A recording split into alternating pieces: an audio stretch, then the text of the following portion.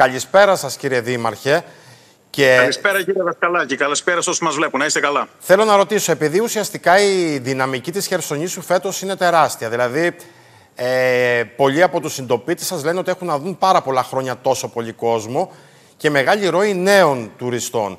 Ε, αυτή είναι και η κανονικότητα, δηλαδή επιστρέφουμε και στις εντάσεις; Ακούστε να δείτε, η αλήθεια είναι ότι ο κόσμος ε, τον τελευταίο ειδικά ένα μήνα και κάτι είναι, είναι στον τόπο μας, στο Δήμο Χερσονήσου, πέραν κάθε προσδοκίας.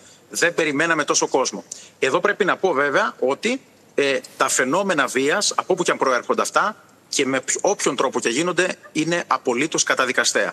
Πρέπει να πω όμως εδώ ότι ε, παρότι είδαν ε, τρία φαινόμενα ε, ξυλοδαρμών στη Χερσόνησα, το, το φως της δημοσιότητας τις τελευταίες μέρες και πρέπει να πω ότι εντός εισαγωγικών αυτό το φαινόμενο που στηρίζεται στο θεσμό πλέον εντός εισαγωγικών της κάμερας των κινητών τηλεφώνων που τα καταγράφουν. Μόλις πριν από λίγο αναφερθήκατε σε ένα περιστατικό ε, εδώ στη χώρα μας η Μεδαπής η οποία μέθησε και είχε θέμα ή τις προηγούμενες μέρες γίναμε μάρτυρες ε, μαχαιρωμάτων μεταξύ μεδαπών ε, ή πυροβολισμών μεταξύ μεδαπών σε άλλες περιπτώσεις.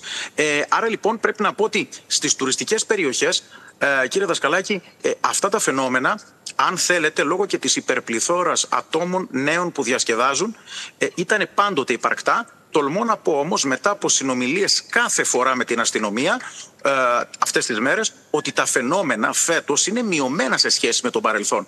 Απλά τα κινητά τηλέφωνα φταίνε και γίνονται γνωστά παλιότερα υπήρχαν πολύ περισσότερα τέτοια φαινόμενα. Να ρωτήσω κάτι, κύριε Δήμαρχε. Βλέπουμε τώρα εικόνες από τον πιο τουριστικό δρόμο της Χερσονήσου. Είναι το παράκτιο μέτωπο, εκεί που υπάρχει ε, το σύνολο των ε, νυχτερινών καταστημάτων, των εστιατορίων. Ένας εξαιρετικά όμορφος δρόμος που αποτυπώνει και την τεράστια δυναμική της τουριστικής μας βιομηχανίας.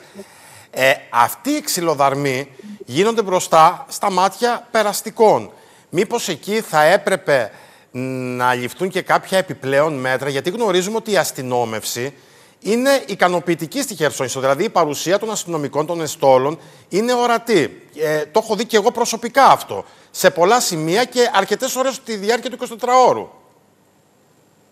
Ακριβώς, έχετε δίκιο. Καταρχήν θέλω να πω ότι η συνεργασία με την ελληνική αστυνομία, που είναι η καθήλυνα αρμόδια για αυτά τα περιστατικά, είναι σε ένα πάρα πολύ καλό επίπεδο. Εκείνο που πιθανότατα θα έπρεπε να κάνουμε ως κοινωνία αλλά και ως πολιτεία είναι καταρχήν να ε, στηριχθεί το αίτημα για την επιπλέον ενίσχυση του ΑΛΠΑΤΑΦ Χερσονήσου προκειμένου η παρουσία του να είναι ακόμα μεγαλύτερη αλλά από την άλλη μεριά πρέπει να δούμε και τώρα το χειμώνα κύριε Δασκαλάκη λίγο το θέμα ε, πιο ουσιαστικά.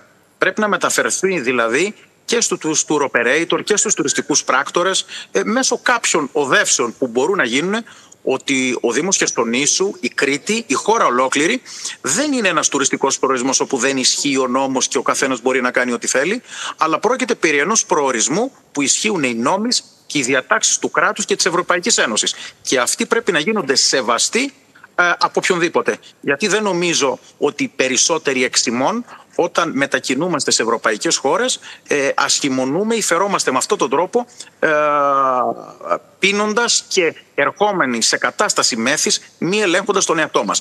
Νομίζω λοιπόν ότι ε, παρότι αυτά τα φαινόμενα είναι σποραδικά και σας είπα τους λόγους που βλέπουν το φως της δημοσιότητας νομίζω ότι μια καλύτερη ενημέρωση θα έφερνε ένα καλύτερο αποτέλεσμα. Από την άλλη μεριά, η ελληνική αστυνομία κάνει τα δύνατα δυνατά, ειδικά με το υπάρχον προσωπικό που έχει, και ευελπιστούμε ότι του χρόνου ε, θα ενισχυθεί ουσιαστικότερα από τη φέτος, καθώς είχαμε αιτηθεί καλύτερη ενίσχυση του ΑΛΦΑΤΑΦ και θα το κάνουμε και του χρόνου, προκειμένου να αντιμετωπιστούν ακόμα καλύτερα αυτά τα φαινόμενα. Είστε ένας μεγάλος Δήμος και καλά κάνετε και το λέτε αυτό με το ΑΛΦΑΤΑΦ της Χερσονήσου, γιατί δεν πρέπει να ξεχνάμε ότι μία ανάσα από τη Χερσόνησο βρίσκονται και τα μάλια που επίσης έχουν σημείο αναφοράς τον τουρισμό νεολαίας και τη νυχτερινή ζωή. Βεβαίως, δεν πρέπει να ξεχνάμε ότι και η ελληνική αστυνομία που κάνει τα δύνατα δυνατά έχει να κάνει αστυνόμευση ε, τις νυχτερινές ώρες, έχει να κάνει έλεγχο της άγρας πελατών, έχει να κάνει με τη μικροεγκληματικότητα, έχει να κάνει με τον έλεγχο της, ε, της κυκλοφορίας και ειδικά της σταθμεύσεως στον πολύ τουριστικό προορισμό που λέγεται Δήμος Χερσονήσου και έχει να κάνει με όλο το παράκτιο μέτωπο. Άρα οι υποχρεώσεις, οι αρμοδιότητες και εν τέλει τα αντικείμενα που έχει και η ελληνική αστυνομία είναι τεράστια. Γι' αυτό πρέπει να ενισχυθεί, ούτως ώστε βέβαια και κατά τις νευτερινές ώρες και ειδικά τις πρωινές ώρες μετά τις 2-3 η ώρα που υπάρχουν αυτά τα φαινόμενα η αστυνομία να κάνει ακόμα εντονότερη την παρουσία της που ούτως ή άλλως την έχει, αλλά να την κάνει ακόμα εντονότερη, ούτως ώστε να είναι ακόμα αποτελεσματικότερη. Κύριε Δήμαρχε, σας ευχαριστώ πολύ. Να είστε καλά, καλό σας βράδυ. Εγώ για τη φιλοξενία. Να είστε καλά, καλό βράδυ.